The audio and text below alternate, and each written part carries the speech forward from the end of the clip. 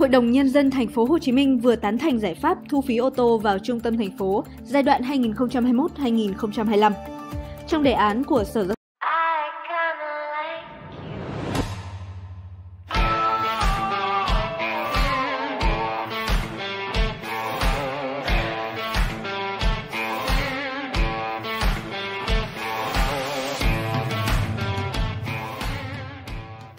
vận tải tháng 7 năm ngoái, 34 trạm thu phí sẽ được xây dựng bao quanh khu vực quận Nhất, quận 3 và giáp danh quận 5, quận 10, tạo thành vành đai khép kín trung tâm thành phố.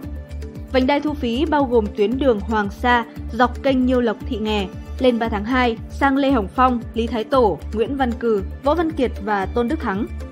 34 cổng thu phí bao quanh vành đai này dự kiến sử dụng công nghệ ETC cho phép xe chạy qua mà không cần dừng lại. Thành phố kỳ vọng đây là giải pháp cho tình trạng kẹt xe và ô nhiễm trong nội đô. Dự kiến sẽ thu phí xe vào nội thành trong giờ cao điểm từ 6 đến 9 giờ và 16 đến 19 giờ.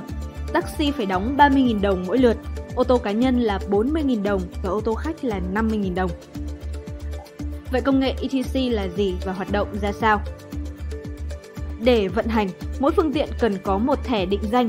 Thẻ này được gắn miễn phí ở các trung tâm đăng kiểm khi xe tới gần, cổng thu phí bắt được sóng từ thẻ định danh, camera tự động ghi hình biển số. Đồng thời, cảm biến xác định trọng tải xe để tính phí. Sau khoảng 10 giây, phí tự động được trừ vào tài khoản.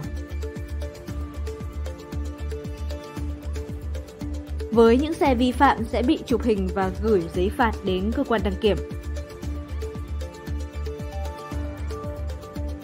Giải pháp này đã được Thụy Điển, Singapore áp dụng thành công từ năm 1975 với cơ sở vật chất không bằng thành phố Hồ Chí Minh hiện tại. Kinh nghiệm các nước cho thấy sau khi áp dụng giải pháp này, lượng ô tô vào trung tâm giảm 40% trong giờ cao điểm.